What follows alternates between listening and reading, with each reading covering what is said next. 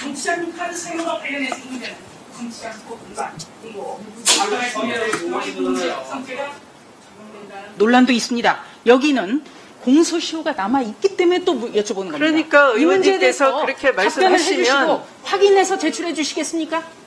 확인해서 제출해 주시겠습니까? 하다하다 안 되니까 뭐 주시겠습니까? 거기까지 가십니까? 네? 응? 하다하다 안 되니까. 하다하다 안 되니까가 아니라 이건 굉장히 중요한 거죠. 지금 법무부 장관이십니다. 자, 여기에 대해서 답변 준비되는 대로 말씀을 해주시고요.